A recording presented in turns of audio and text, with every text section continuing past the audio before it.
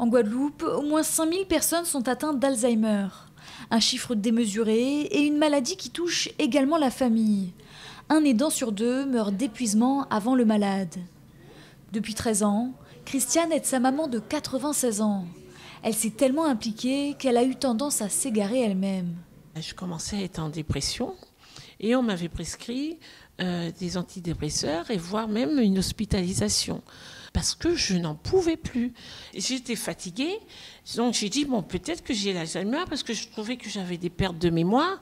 Puis moi j'avais une peur euh, énorme, c'était de devenir maltraitante parce que après je pouvais plus supporter. Comme Christiane, Elmire s'est occupée de sa maman.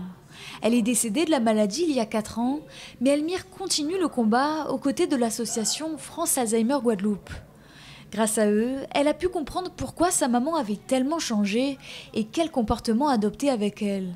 La psychologue de l'époque, je lui dis un grand merci toujours parce que c'est grâce à elle si je suis comme je suis maintenant où j'ai pu, tous les, tous les mercredis après-midi, on se retrouvait à l'association, on n'était pas ici, on avait un autre local plus petit, et euh, où elle, me, elle, me, elle m'expliquait la maladie, elle me permettait de comprendre et de mieux appréhender cette maladie pour pouvoir moi aussi euh, m'en sortir. C'est justement le but de l'association créée en 2007, former les aidants à faire face à une maladie qui peut être destructrice pour l'entourage.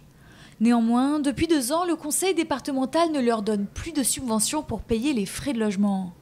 Cela représente alors 10 000 euros en moins par an, une amputation du budget que France Alzheimer Guadeloupe n'arrive plus à compenser par les dons et les adhésions.